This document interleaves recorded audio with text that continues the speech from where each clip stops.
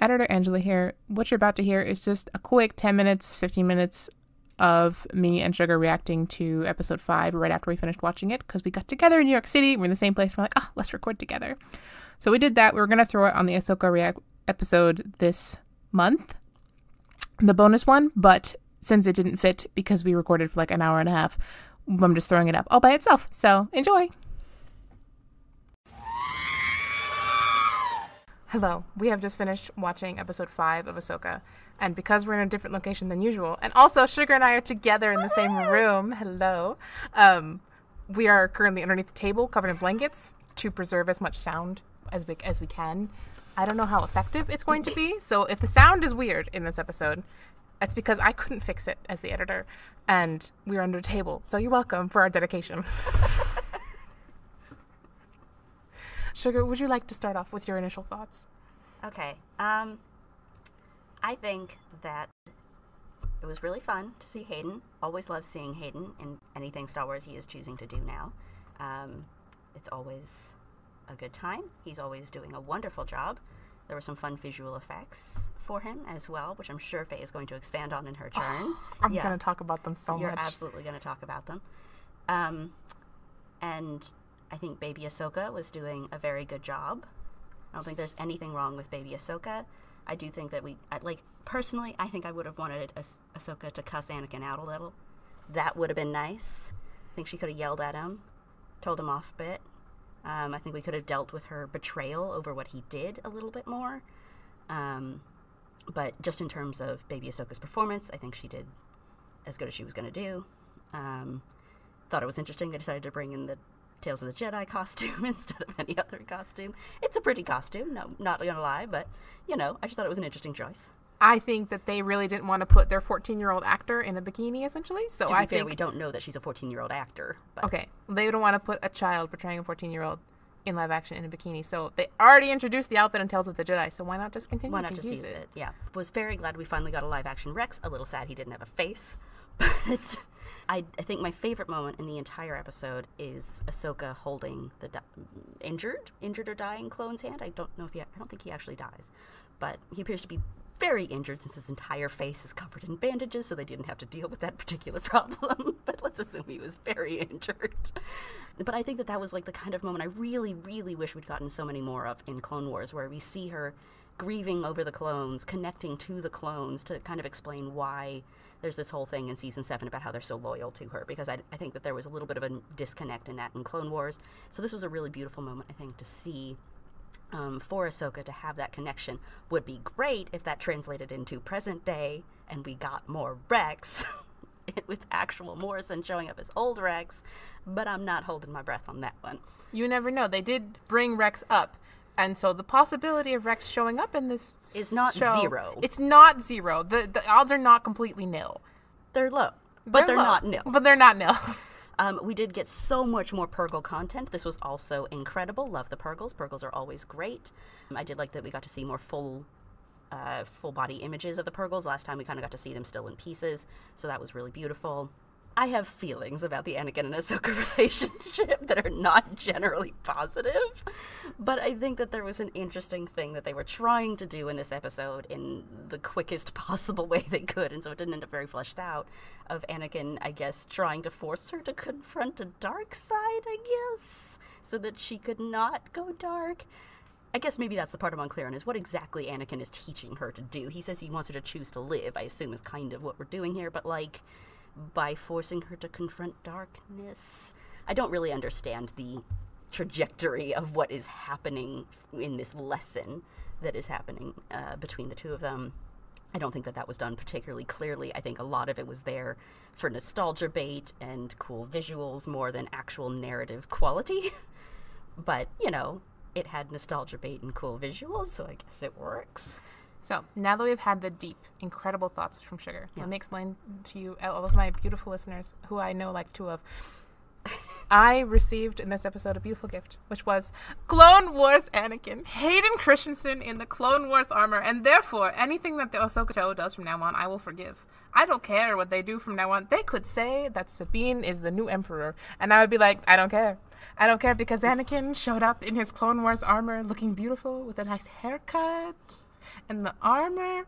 I'm in love with him. Um, anyway, so actual thoughts. Arguably, I, think he looked a lot better in the Clone Wars look than he looked in the World Between Worlds look. Which is ironic considering we've seen him in the World Between Worlds look before. We had not seen him in the. The Clone Wars look. Yes, thank you. But I think they let him be more natural in the Clone Wars look. I think he looked a little bit more natural than he does in the World Between Worlds one, where he seems a little. You know, airbrushed and kind of dreamy. But I do think that was intentional because they want him to look like a ghost, whereas Ahsoka's Maybe. supposed to look like she's still alive, and Anakin is dead, so he's supposed to look kind of creepy and ghosty. Yeah, I, I, it's possible it was intentional to make him look a little dreamy, but I'm not. You're not holding up. I'm not certain. She's not sold on it because it's, it's okay. She doesn't love Anakin like I do. I mean, I like Hayden, It's and true. I want to support Hayden is beautiful. My further thoughts are, I really, really, really enjoyed what they were doing with Ahsoka up to this point. I know we haven't recorded the full episode with like all of our thoughts yet, but I haven't actually written all my thoughts down because I just finished watching the episodes today. But All I, five in one day, just for no, context. no, uh, I watched the first one yesterday. That's right. Yes, all five in 24 hours. But I really, really like how they're showing Ahsoka having these doubts about whether or not she's really a Jedi and whether she wants to follow the Jedi way, whether she wants to train a Padawan the same way that she was trained. Well, not exactly the same way, but in the same tenets, essentially, that she was trained with. And I really like seeing her struggle with that and then coming to terms with that, which is what I think she was trying to, they were trying to do with Anakin, was coming to terms with the fact that she does want to be a Jedi and she does want to follow this uh, path that she has been put on by Anakin. And even though Anakin himself strayed from that path, that's still a path that Ahsoka is willing and wanting to follow. She still wants to live and to live as a Jedi. And I've liked her coming into that and then coming out of the water and like doing the whole white Jedi thing because she is fully choosing to be that person now rather than going her like stupid gray Jedi, whatever fucking arc they were trying to do with her. I do think that the Purrgils and everything was really, really beautiful, and we'll discuss that more when we actually do an episode. Sure. But this episode especially, I really liked how they were completing the journey with Ahsoka. There was no Sabine in that episode, which is probably a good thing because Yes. I have issues with how they're handling Sabine. I don't think she's the right character for this. But we did get a Leia mention, and thank Yes. fucking God, We I miss her. mention and a Kanan mention. Not to not to you know say that that was not also important. He is dead, obviously, and Leia is not. So she is doing things, but we did get Kanan mentioned. We also got a Leia mention of her like working with like the hero side. I'm air quoting right now, the hero side, because like you know, depending on your p- p- point of view for her or not, whether or not she's doing the right thing.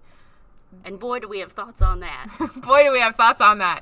I think that's everything. yeah, I mean, I can just hit on like I think Hera deserved what she was getting in this episode. She did. She low key did. But I'm proud of her for you know making sure her child didn't die. I guess she did get two pilots killed, but yeah, to be fair, that was last episode, but you know. okay, yeah. Um, but uh, just I, I think Hera, you know, deserved the demotion she's about to get. You know, like Hera's just off doing whatever the fuck she wants, and I think that there is a, you know, there is a valid point to like rules exist for a reason sometimes. Hera is blatantly ignoring them. I do wish that Jacen had been the one to more legitimately find Ahsoka too, because I am going to bring up probably at some point later. Chopper did a large num- num- amount of the work there. It's Chopper who actually finds Ahsoka and gets the coordinates. Jacen basically just convinces Hera that Ahsoka's alive out there somewhere. Yeah, but he's it's the one. Who finds her. But it is Jacen the, is the one who finds the proof that she is alive. He is the one who finds like the sound and the force and the feeling that she is still there and waiting to be rescued, and then works with Chopper to actually find her. We So don't know that he works with Chopper. well, he's like standing He's there, so I assume he's like, "Hey, Chopper, do this." We don't know this. That is though. like the implication, though. But I think I would have wanted Jacen to be more involved. I would have wanted Jacen to be on the ship with her and kind of guiding her there. I think that would have That would have been nice. Been a little bit more maybe they were worried about me. child child endangerment. that would have been the one like more genuine thing for Jacen to do though. But I think the thing that shows up in this a lot and it kind of uh, pays homage to what you're going to talk about with Sabine later is that like boy it should have been Jacen in this. Boy, it should have been Jacen boy in it should have been Jacen in like Sabine could still be there as like basically like a co-mentor for Jacen. Like she could have been like the I'm not I'm gonna say the Obi Wan to An- Ahsoka's Anakin, even though this is not exactly the dynamic. But like, she could have been like the co-mentor person for mm-hmm. Jacen because like that is like someone that she still really cares about. And that could have been like a really interesting dynamic versus having like this weird like mentee mentor thing with Ahsoka with Sabine, which doesn't super work. I mean, I guess they're Padawan and Master now, but Anyways, we should wrap this up because it's getting very hot It's down so here. It's so hot down here. You're so welcome for our suffering. And we will have a much more extensive discussion on Ahsoka after it's done. which I'm sure will be just included in this because I'm not going to put this up by itself. No. Okay. Have a wonderful day.